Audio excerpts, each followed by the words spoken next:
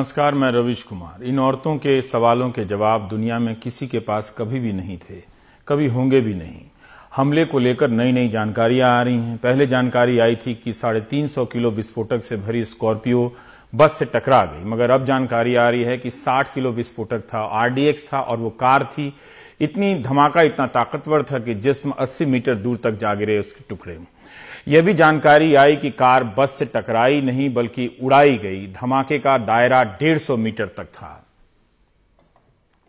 CRPF ने इस बात की पुष्टि की है कि जो गाड़ी जिसने आकर हमला किया था, जो फिदाइन गाड़ी थी, वो एक स्कॉर्पियो नहीं, बल्कि एक सेडान गाड़ी हो सकती है। हमले में छह साठ किलो जो है आरडीएक्स का इस्तेमाल हुआ है। ये सुबह भी आज कादमनी जो सीएफएसएल की टीम वहाँ पर पहुँची थी, उन्होंने इंडिकेशंस दे दिए थे कि आरडीएक्स ही हो सकता है, क्योंकि जिस तरह से आग लगी थी धमाके के बाद और जिस तरह से काला रेसिड्यू जो मिल रहा था घटनास्थल से, उससे साफ़ इंडिकेशन थे कि आरडीएक्स का इस्तेमाल हुआ है। साठ किलो आरडीएक्स लेकिन किस तरह आदिल, जो 19 साल का लड़का था, काकपुरा का रहने वाला था, उस तक पहुँचा? क्योंकि ये साफ़ हो चला है कि जो गाड़ी है, वो लेफ़्ट हैंड साइड से ओवरटेक करने की कोशिश कर रही थी और उसने फिर कॉन्वॉय को जाकर हिट किया, जिसके कारण ये धमाका हुआ है। पहली जब गाड़ी को वो हिट की तो ब्लास्ट इतनी, इसकी इंटेंसिटी इतनी ज़्यादा थी कि दूसरी गाड़ी पे भी उसका इम्पैक्ट हुआ। यही वजह है कि जो कैजुअलिटी नंबर है, वो बहुत इंक्रीज होता जा रहा है। ये जानकारियाँ बदलेगी। कई एजेंसियाँ जाँच कर रही हैं। एजेंसियों के सामने सबसे बड़ा सवाल यह भी है कि एक चाक चौबंद हाईवे पर विस्फोटक से भरी गाड़ी कैसे आई? उसे उड़ाने के पीछे की तैयारी क्या रही होगी? कौन कौन लोग शामिल रहे होंगे? राज्यपाल सतपाल मलिक ने प्राइम टाइम में कहा था कि सूचना थी कि पाकिस्तान बड़ा एक्शन करेगा। खुफिया एजेंसियों के पास भी जानकारी थी। बिना चेकिंग के ही विस्फोटक से आ, से भरी गाड़ी कैसे चली गई? ये चूक है। ढाई हज़ार जवानों का काफिला चलना भी चूक है उन्होंने कहा। आतंकवादी हमारी एजेंसियों की जानकारी के बाद भी घटना को अंजाम देकर गए इसलिए छोटी घटना नहीं है। उनकी रणनीति को नए सिरे से समझना ही होगा। यह तभी संभव हो सकता है जब हम चूक को लेकर ईमानदार रहें, संयमित रहें। हमारे सहयोगी इंडियो ने ट्विटर पे कुछ सवाल किए हैं कि हमें जानना चाहिए कि आत्मघाती हमले के लिए के लिए भारी मात्रा में विस्फोटक कैसे जुटाए गए होंगे? क्या यह आईएसआई या पाकिस्तान के स्टेट एक्टर के बगैर हो सकता है? क्या बिना स्थानीय सपोर्ट के ऐसे आतंकी हमले को अंजाम दिया जा सकता है? सुरक्षा जाँच के बाद गुजरे काफिले की जानकारी उन तक कैसे पहुँची होगी? जब एजेंसियों के पास सूचना थी, तब किस तरह का अलर्ट जारी किया गया होगा? इंटेलिजेंस फेलियर इसलिए हुआ है कि इंटेलिजेंस कश्मीर में एक नई वारदात है जिसमें कि ये एक कार बेस्ड सुसाइड अटैक हुआ है। Car based suicide attack Kashmir में बहुत सालों के बाद हुआ है। इसमें कोई सौ किलो या उससे ज़्यादा अरसा जो है और एक कार यूज़ करी गई है। इंटेलिजेंस फेलियर में ये मानूँगा कि ये हमें पता नहीं था कि ये इस टाइप का हमला इस वक्त हो सकता है। अगर इंटेलिजेंस एजेंसीज अलर्ट होगी तो क्योंकि ये हमला एक इंसान नहीं कर सकता है, ये हमला एक ग्रुप कर रहा है। और ये ग्रुप कर रहा है ये इस टाइप का हमले की अगर हमें इन्फॉर्मेशन होती या इंटेलिजेंस होता तो ज़रूर हम इस सिक्योरिटी को लैप्स मानते बहुत ज़्यादा हो जाता। लेकिन क्योंकि हमें इस टाइप का इंसिडेंट नहीं पता नहीं था और यहाँ पर इंटेलिजेंस फेलियर है लेकिन ओवरऑल सिक्योरिटी की वजह से हमें ऐसे मौकों पे और भी ज़्यादा जो है अलर्ट रहना बहुत ज़रूरी बनता है। गृह मंत्री राजनाथ सिंह श्रीनगर गए वहाँ सुरक्षा तैयारियों का जायजा लिया। ज़ाहिर है इन कारणों पर भी बात हुई होगी। दो दशकों में इस तरह की आतंकी कार्रवाई नहीं देखी गई। 2001 में आ, लोग बताते हैं कि आ, एक टाटा सुमो जाकर टकरा गई थी विस्फोटक से भरी हुई। क्या इसके लिए सुरक्षा एजेंसियों को भी अपनी रणनीति बदलनी होगी? राजनाथ सिंह के लिए आज का दिन मुश्किलों भरा रहा। शहीदों को न सिर्फ़ श्रद्धांजलि और सलामी दी उन्होंने बल्कि उनके पार्थिव शरीर को भी कंधा दिया। गृहमंत्री के चेहरे पर तनाव देखा जा सकता था। अपने जवानों को खोना उन्हें कंधा देना उनके लिए आसान नहीं रहा होगा। उनके साथ कंधा देने वालों में जम्मू कश्मीर पुलिस के प्रमुख भी थे राज्यपाल भी थे सीआरपीएफ के डीडी आर आर भटनागर भी थे डीजी साहब। इसके बाद गृहमंत्री सेना के बेस अस्पताल गए जहाँ घायलों का इलाज चल रहा था। कुछ ऐसे एलिमेंट्स हैं जो सीमा पार की जो आतंकवादी ताकतें हैं, आतंकवादी संगठन हैं, अथवा आईएसआई इनके साथ उनकी मिली भगत है। और आतंकवाद की गहरी साजिश में ऐसे सारे लोग भी कुछ शामिल हैं। और मैं कहना चाहता हूँ, ऐसे लोग जम्मू कश्मीर की जनता के भविष्य के साथ, वो खिलवाड़ तो कर ही रहे हैं, और खास तौर से हमारे जम्मू कश्मीर के नौजवानों के भविष्य के साथ भी वो खिलवाड़ कर रहे हैं। और मैं यह भी कहना चाहूँगा कि पाकिस्तान और आईएसआई से पैसा लेने वाले भी कुछ एलिमेंट्स यहाँ पर हैं, कुछ ताकतें हैं। और मैंने आज कहा है, स्पष्ट रूप से, यहाँ अधिकारियों को भी जम्मू कश्मीर के। कि ऐसे लोग जो पाकिस्तान से पैसा लेते हैं, आईएसआई के साथ जिन लोगों की मिली भगत है? उनके सिक्योरिटी को रिव्यू किया जाना चाहिए। और मैं पूरे देश की जनता से भी अपील करना चाहता हूँ कि इस समय बहुत सारे ऐसे भी एलिमेंट्स हैं जो कम्युनल हार्मनी को तोड़ने की अपनी तरफ़ से कोशिश करेंगे। लेकिन मैं जानता हूँ कि जब भी इस प्रकार का संकट देश के सामने आया है तो चाहे कोई किसी जाति का हो, किसी पंथ का हो, किसी मज़हब का हो, किसी धर्म का हो, सभी एकजुट होकर इसके खिलाफ संघर्ष करने के लिए खड़े हुए हैं। इसलिए ऐसी ताकतें यदि कोशिश करती हैं तो उनका, उनको मुंहतोड़ जवाब दिया जाना चाहिए। आज मैं यह भी कहना चाहूँगा कि कनवाय के ऊपर, जो हमारे सीआरपीएफ का कनवाय था, जिस तरीके से उस पर फिराइन हमला हुआ है तो आज की बैठक में यह निर्णय हुआ है कि जिस समय कनवाय चलेगा, बड़ा कनवाय चलेगा, उस समय हमें सिविलियंस के, मूवमेंट को थोड़े समय के लिए रोकना पड़ेगा। उसके कारण हमारे सिविलियंस को थोड़ी सम, थोड़ी देर के लिए सुविधा हो सकती है। उसके लिए हम उनसे क्षमा चाहेंगे। सांप्रदायिक सौहार्द बनाए रखने पर गृहमंत्री ने प्रमुखता से ज़ोर दिया। संयम और गम से भरी भाषा में वे बार बार इसके खतरे की चेतावनी देते रहे। आप सभी को भी गृहमंत्री की इस बात पर ध्यान देना चाहिए। आतंकी हमला हुआ है, इसका मतलब ये नहीं कि कानून व्यवस्था को हाथ में लेने की किसी को छूट मिल गई है। हमें ध्यान रखना चाहिए कि आतंकी हमले का एक मकसद यह भी होता है कि जज्बात में भीड़ अराजक अराजक बन जाए, जिसका लाभ वे फिर से उठा लें। दुनिया भर में आतंक पर रिसर्च करने वालों ने इसकी चेतावनी दी है। ऐसी घड़ी में भी राज्य को कानून के दायरे में ही काम करना चाहिए। काम करना होता है और नागरिकों को भी कानून के दायरे को बनाए रखना होता है।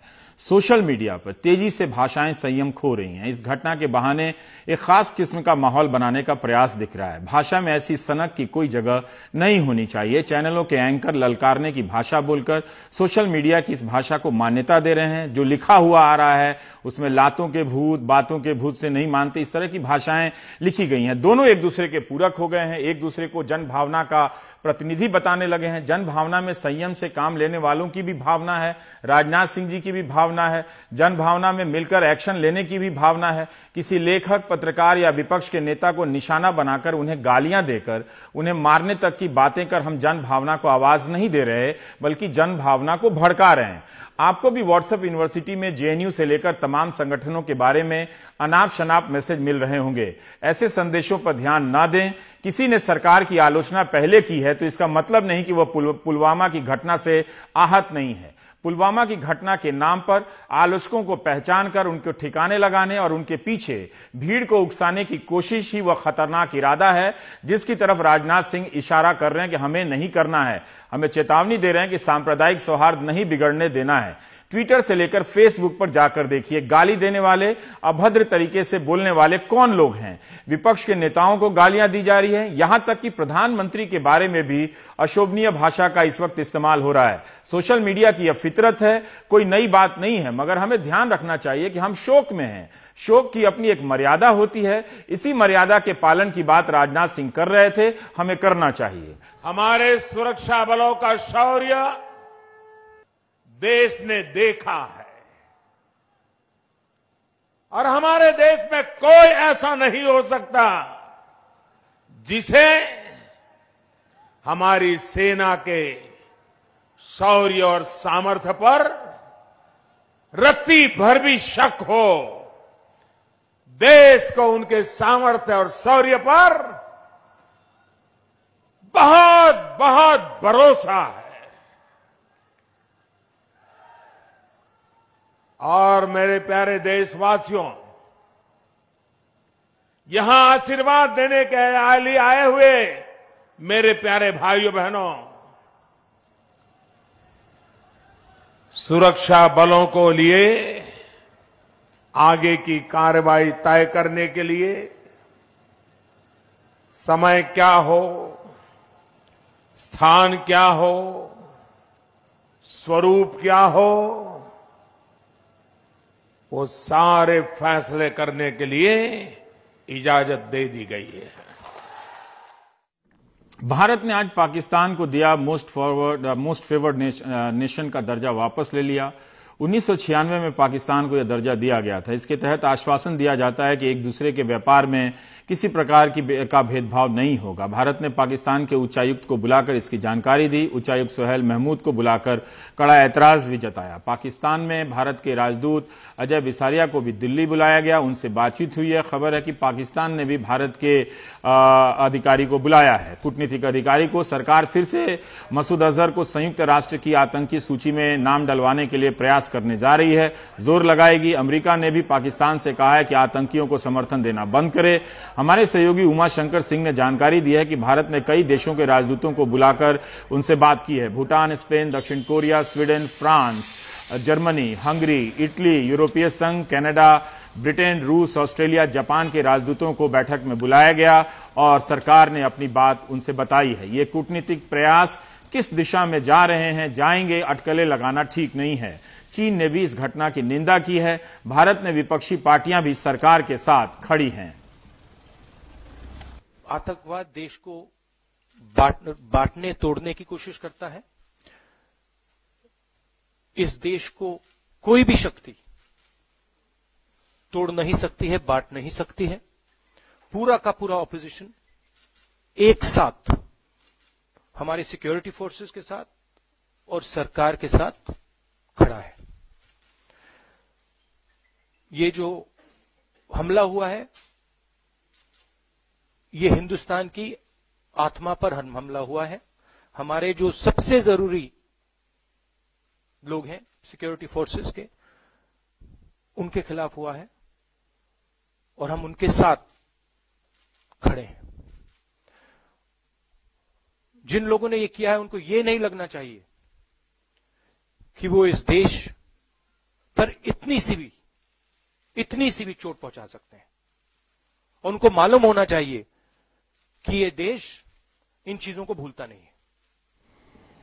देश भर में लोग व्यथित ज़रूर हैं, मगर संयम में हैं। कई लोगों ने कविताएँ लिखी हैं और मुझे भेजी हैं, मैं शामिल नहीं कर पा रहा हूँ, मगर आपकी भावनाएँ समझता हूँ। कुछ दूसरों की लिखी कविताओं को भी फॉरवर्ड कर रहे हैं, यह भी ठीक है। यह भी देखना चाहिए कि ऐसे वक्त में लोग किस किस तरीके से अपनी व्यथा को ज़ाहिर करते हैं। एक सामाजिक विज्ञान में दिलचस्पी रखने वालों को आज लखनऊ में किसान जमा हुए थे गन्ना आयुक्त का घेराव करने के लिए, मगर उन्होंने अपना प्रदर्शन श्रद्धांजलि सभा में बदल दिया। इसके अलावा ये सारे पश्चिम लखनऊ से गए, यूपी यूपी से गए थे। कोर्ट के आदेश के अनुसार अपना बकाया वापस लेने के लिए, मगर अपना दर्द भूलकर जवानों की शहादत को याद करने लगे। जामिया शिक्षक संघ ने भी घटना की निंदा की है और श्रद्धांजलि अर्पित की है पंद्रह तारीख की शाम। यहाँ पर छात्र छात्राओं ने मोमबत्तियाँ जलाकर जवानों को श्रद्धांजलि दी। बड़ी संख्या में छात्र शाम के वक्त मौजूद थे। अलीगढ़ मुस्लिम यूनिवर्सिटी के छात्रों ने भी श्रद्धांजलि दी, दो मिनट का मौन रखा। ये वाराणसी की तस्वीरें हैं जो जहाँ आज भी वहाँ पर शहीद उद्यान में ये भोपाल की तस्वीर है, जहाँ नागरिकों ने जवानों को याद किया, अपनी श्रद्धांजलि दी। उसके बाद अलग अलग शहरों में भी इस तरह की तस्वीरें आई हैं। ये बिहार की तस्वीर है और इस तरह से आप देखें कि पटना, हैदराबाद, सिलीगुड़ी कहाँ कहाँ नहीं प्रदर्शन हुआ, उसकी तस्वीरें नहीं आई हैं। प्रवीण खंडेलवाल जो व्यापारी संघ के नेता हैं, उन्होंने कहा कि इस घटना के खिलाफ भारत बंद रखेंगे 18 फरवरी को। अहमदाबाद से व्हाट्सएप मैसेज आया कि ऐतिहासिक पुराना बाज़ार ढाल, ढालगरवाड़ा और कालूपुर फ्रूट मार्केट शहीद सैनिकों के सम्मान में 16 फरवरी को बंद रहेगा। सीआरपीएफ के जवान अपने साथियों की शहादत से आहत हैं। उनका हौसला कम नहीं हुआ है। ये बड़ी जांबाज फोर्स है, फिर भी उन्हें चिंता है कि शहीद जवानों के परिवार वालों के भविष्य का क्या होगा। हालाँकि राज्य सरकारों ने मदद राशि और परिवार के सदस्य को नौकरी देने की बात कही है, फिर भी जवानों को भी लगता है कि उन्हें भी अपनी तरफ़ से कुछ करना चाहिए। जो सूची हमें दी गई है, उसमें तैतीसवें नंबर पर देवरिया के विजय कुमार मौर्य का नाम है, बानवे बटाल नाइन्टी बटालियन के सदस्य रहे विजय, उनके साथियों ने बताया कि विजय हाल ही में 9 फरवरी को छुट्टी से वापस लौटे थे, अपने पिता के इलाज को लेकर चिंतित थे। विजय के बड़े भाई बीमारी के कारण दुनिया में नहीं रहे। छोटे बच्चों की, इनकी एक इकलौती बेटी है, अंशिका, और साथियों ने अंशिका और उनकी पत्नी विजय लक्ष्मी की मदद के लिए एक फंड भी बनाया है। सरकार तो मदद कर ही रही है, लेकिन सब चाहते हैं कि अपने साथी की मदद करें, कुछ ना कुछ करते हुए नज़र आए। तो एक तरह से पुलवामा फंड बनाया है उसका अकाउंट नंबर उन्होंने दिया और कहा है कि साथ ही बड़ी संख्या में बहुत ही उदारता के साथ आ, मदद भी आ, कर रहे हैं। तो एक तरह से आ, आ, हमारे साथ आ, हमारे सहयोगी भी हैं उमा आ, राजीव और स्टूडियो में आपने दिन भर एनी टीवी इंडिया पे बड़े बड़े एक्सपर्ट जानकारों को सुना, लेकिन रणवीर सिंह जी हैं हमारे साथ जो अर्धसैनिक बलों के महासचिव हैं और रणवीर सिंह जी सीआरपीएफ में जवान से लेकर इंस्पेक्टर रहे हैं तो कभी कभी हमें जवानों को भी मौका देना चाहिए ताकि वो अपनी बात यहाँ रख सकें और हम भी जान सकें कि ये क्या कमाल की सेना है, जिसके शहादत के बारे में तो हम जानते हैं। कहीं ये गलती तो हम नहीं कर रहे कि इसकी अपनी जो तैयारियाँ हैं, उसके बारे में हम जानने का प्रयास नहीं कर रहे हैं। उमा शंकर जी, हम थोड़ा सा आपसे ये संक्षेप में जानना चाहते हैं कि ये सारे जो कूटनीतिक प्रयास हुए हैं ये किस दिशा में जा रहे हैं और इनका मकसद क्या है?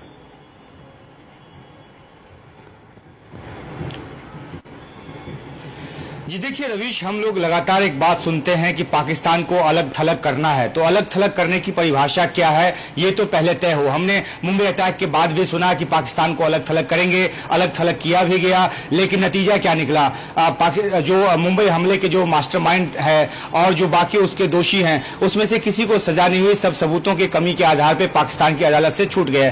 इसी तरह हमने उड़ी और पठानकोट हमले के बाद भी देखा कि अलग थलग करने की एक प्रक्रिया की शुरुआत हुई है और उसी तरह की प्रक्रिया की शुरुआत अभी एक बार फिर से हुई है। हालाँकि बहुत शुरुआती समय है ये बोलना कि, कि किस हद तक अलग थलग कर पाएँगे। लेकिन बहुत ही मैं छोटे में आपको बताना चाहता हूँ कि भारत के पास एक बड़ा मौका है जहाँ पाकिस्तान को वाकई में अलग थलग किया जा सकता है। वो है फाइनेंशियल एक्शन टास्क फोर्स की मीटिंग जो कि 17 से 22 फरवरी को पेरिस में होने जा रही है। आपको याद होगा रवीश की किस तरह से जून 2018 में पाकिस्तान को ग्रे लिस्ट में ग्रे देशों की सूची में डाल दिया गया था कि वो अपने यहाँ जो उनको आर्थिक मदद मिलती है, उसका पैसा जो है, वो आतंकवादियों तक पहुँच जाता है। तो उस ग्रे लिस्ट से निकलने के लिए पाकिस्तान लगातार कोशिश कर रहा है। सत्ताईस पैरामीटर होते हैं, जिसके आधार पर ग्रे लिस्ट में डाला जाता है। पाँच पे पाकिस्तान ने जवाब दाखिल कर दिया है और सत्रह तारीख के बाद उसकी सुनवाई शुरू होगी। पिछले ही महीने भारत ने उस फोरम पर यह कहा था कि जैश ए मोहम्मद हो या सिपह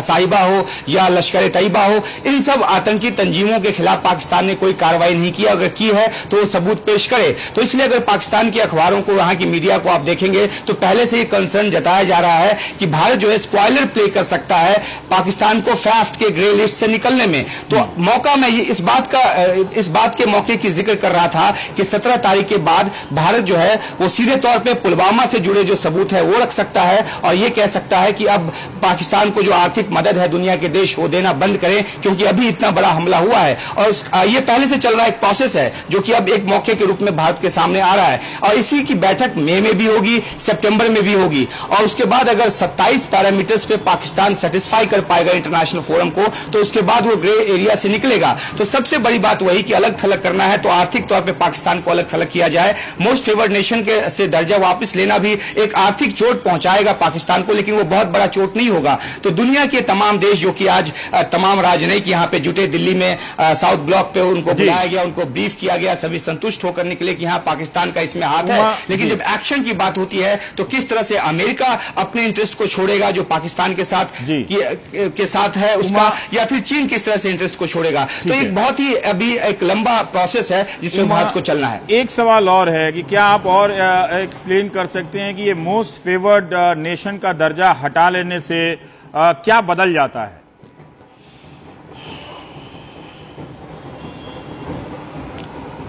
जी देखिए, एक वाणिज्यिक, एक समझौता है। डब्ल्यूटीओ के जो भी सदस्य देश होते हैं, वो एक दूसरे को मोस्ट फेवर्ड नेशन का दर्जा देते हैं। उन्नीस सौ छियानबे से भारत ने पाकिस्तान को यह दर्जा दिया हुआ था। ज़ाहिर सी बात है कि पाकिस्तान जो एक्सपोर्ट करता है अपनी तरफ़ से हिंदुस्तान को, उसमें उसको जो उसको जो दरों में कई कई सारी रियायतें मिलती है, कई सारी छूट मिलती है और वो रेट उसी तरह के होते हैं जो बाकी मोस्ट फेवर्ड नेशन को दिया जाता है। तो वो दर्जा हटा लिए जाने के बाद पाकिस्तान को हिंदुस्तान में निर्यात करना जो है, वो एक ज़्यादा महँगा पड़ेगा। और दूसरी लेकिन अहम बात यह है कि बहुत ही मिनिमम जो है दोनों देशों के बीच जो व्यापार है वो है। तो ऐसे में पाकिस्तान को बहुत ज़्यादा आर्थिक नुकसान होगा ऐसा भी नहीं है। हाँ एक परसेप्शन की बात है कि एक मोस्ट फेवर्ड नेशन फेवर्ड जैसा शब्द आ जाता है उस उस उस दर्जे को हटा लिया है यानी पाकिस्तान और भारत के बीच दूरी और बढ़ गई। ठीक है हाँ। राजीव बहुत बहुत शुक्रिया उमा हमसे बात करने के लिए। राजीव हम ये जानना चाहते हैं कि अभी उस वक्त यहाँ हालात हैं और जो सिक्योरिटी मीटिंग हुई है उसमें क्या जा, नई जानकारियाँ आपको मिली हैं? बीस मिनट के अंदर पहुँचना है। तुम आ सकते हो नहीं आ सकते हो?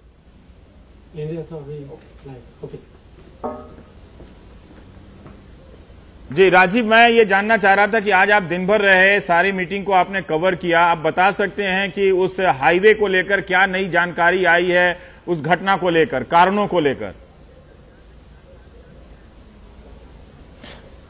देखिए दो तीन बातें मोटी तौर पर कही जा सकती है। आज खुद उस घटना स्थल पर गया हुआ था।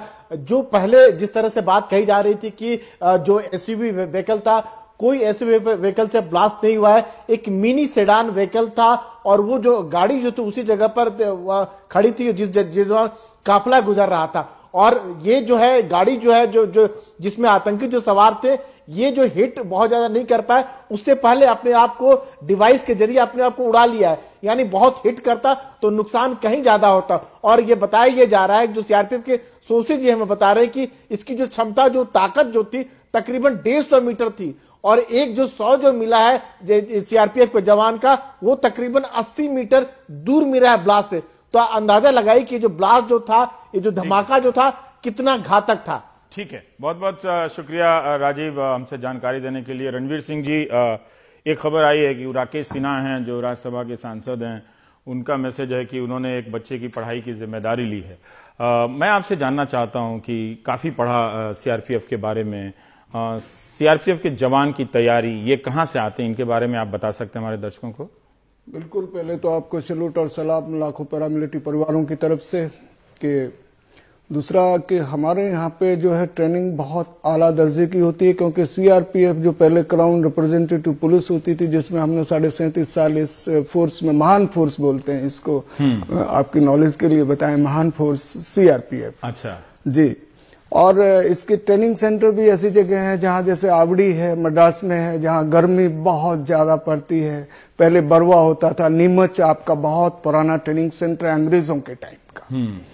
और इसमें हमारे इसमें जवान जो आते हैं ये भी हम बताना चाहेंगे कि बिलो पॉवर्टी लाइन किसान के बेटे मजदूर के बेटे तांगे वाले रेडी वाले ये जो जो संख्या है जो हमारा जो कमेरा वर्ग जिसको बोलते हैं सिपाही से सूबेदार तक तो इसमें ये लोग ज़्यादा आते हैं। और बहुत गहन ट्रेनिंग होती है और सीआरपीएफ का तो जो है आप उस ट्रेनिंग का आप देख भी रहे हैं कि भाई जो है कश्मीर से लेके और लद्दाख से लेके लास्ट निकोबार तक ये लोग चाहे नॉर्थ ईस्ट हो चाहे वो अपना नक्सल बाउल क्षेत्र हो और चाहे वो पुराना इतिहास लीजिएगा कि गुजरात का रन कच्छ हो चाहे जो पुलिस मेमोरियल के उपलक्ष्य में माननीय प्रधान आपने जो कहा कि साधारण परिवार के लोग आते हैं तो मैं ये जानना चाहता हूँ कि इस तरह की घटना के बाद हालाँकि सरकार ने कहा है कि सबके परिवार को नौकरी दी जाएगी और एक्स ग्रेशिया जो मदद राशि है वो भी कई राज्य पचास लाख एक करोड़ की बात कर रहे हैं उसमें कोई राज्य पीछे नहीं हट रहा है। क्या ये सारी व्यवस्थाएँ पर्याप्त होती हैं? जो शहीद होते हैं उनके परिवार वालों का किस तरह से आपका संगठन ख्याल रखता है सरकारें, राज्य सरकारें कैसे ख्याल रखती हैं?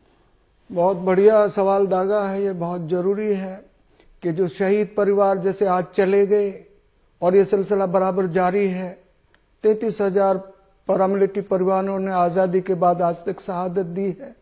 तो सवाल ये उठता है कि उनकी स्वास्थ्य की जो ठेकेदारी है वो कौन एजेंसी देखेगी?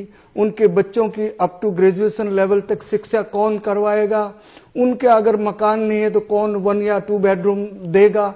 तो ये सारी ज़िम्मेदारी राज्य सरकारों की होनी चाहिए। अब तो पीछे अभी मिलता है दिया जाता है। अभी जो है कुछ राज्य सरकारें जो है एक करोड़ दो तीन सरकारें आई जिसमें मध्य प्रदेश भी उभर के आया अभी रिसेंटली आपका जो है अरुणाचल प्रदेश एक छोटी सरकार है, लेकिन वो अच्छी बात है। दिल्ली के केजरीवाल साहब ने ये शुरुआत की थी। और लेकिन इसमें कई स्टेट हैं। अब जैसे माननीय प्रधानमंत्री जी को सैल्यूट और सलाम के आज वो शहीदों के बीच में है। तो लेकिन, जहाँ तक तो गुजरात का संबंध है मान्यवर आपके लिए ज़रूर चाहेंगे कि प्रधानमंत्री तक आवाज़ जाए कि, और वहाँ पे मात्र चार लाख रुपए ही।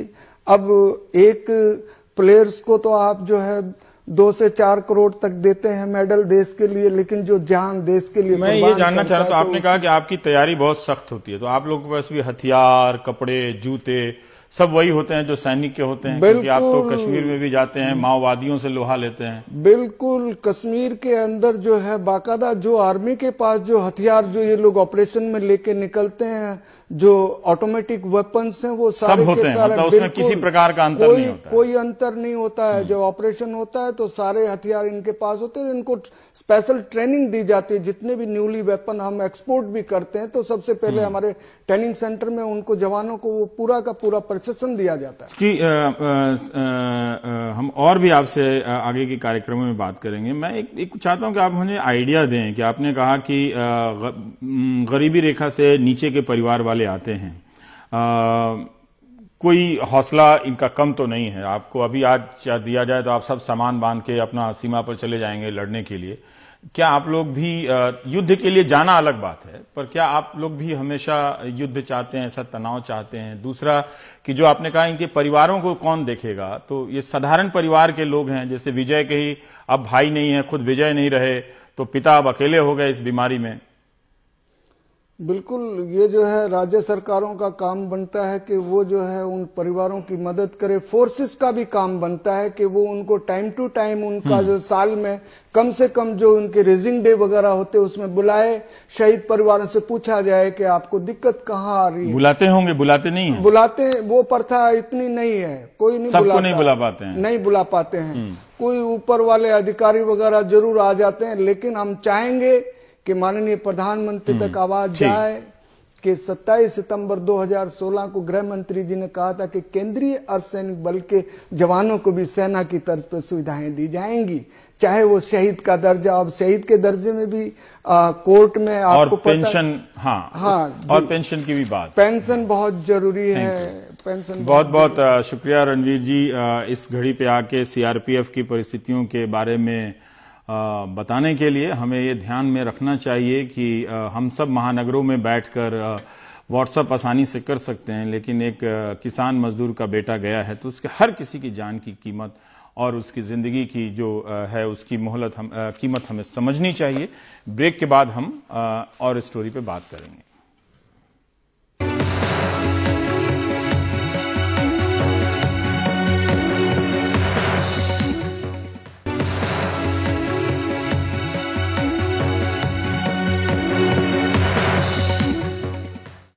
सीआरपीएफ के 40 जाबाज जवानों की शहादत के पीछे रह गई, इनकी यादें। इनके परिवार वालों की यादें, परिवारों के दुख, उन आखिरी लम्हों की टीसती हुई तकलीफ़, जब उन्होंने आखिरी बार अपने प्रियजन से बात की, या बात नहीं कर पाए होंगे। एनडीटीवी ने इन परिवारों के दुख को समझने की कोशिश की है। गुरुवार के आतंकी हमले में जो लोग शहीद हुए, वो बस छुट्टी से लौटे ही थे। देश भर के 16 राज्यों से। शहादत से कुछ ही घंटे पहले इनमें से कुछ लोगों ने अपने प्रियजनों से बात की थी। इनमें से एक हैं पश्चिम बंगाल के शहीद जवान बाबुल सांत्रा की पत्नी। उन्होंने टीवी पर पुलवामा धमाके की खबर देखी और फ़ोन करती रही लगातार। लेकिन कर्नाटक की कलावती को अब ये मलाल ताउम्र रह जाएगा कि गुरुवार की सुबह वो अपने पति का आखिरी फ़ोन नहीं ले सकी। मुझे दुख है कि मैं उनसे बात नहीं कर सकी। शाम से लगातार फ़ोन कर रही थी, लेकिन वो उठा नहीं रहे थे। सबसे ज़्यादा बारह जवान उत्तर प्रदेश से शहीद हुए हैं। तीस साल के अवधेश कुमार को उनके गाँव वाले बहादुरपुर का बहादुर पुकारा करते थे। गाँव के नाम के साथ उन्होंने उनका नाम जोड़ दिया था। घर के मोर्चे पर भी उनकी लड़ाई उतनी ही मुश्किल थी। माँ को कैंसर था और बेटा उनके हर मुमकिन इलाज में लगा हुआ था। तीस साल के विजय कुमार मौर्य के घर जब देर रात फ़ोन आया तो किसी को यकीन नहीं हो रहा था।